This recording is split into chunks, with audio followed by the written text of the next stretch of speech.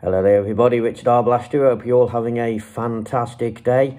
Don't forget to comment, like and subscribe and smash that bell icon and select all to be notified every time I upload a new video. And today's word, word is brought to you by Joe Townsend and that is bumfuzzle.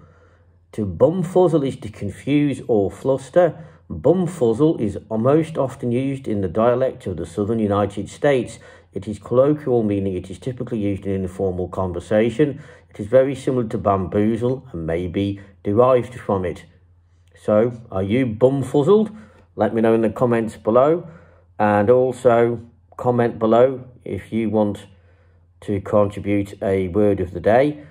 And don't forget to comment, like and subscribe and smash that bell icon and select all to be notified every time we upload a new video. And I'll see you all soon. Ta-ta for now.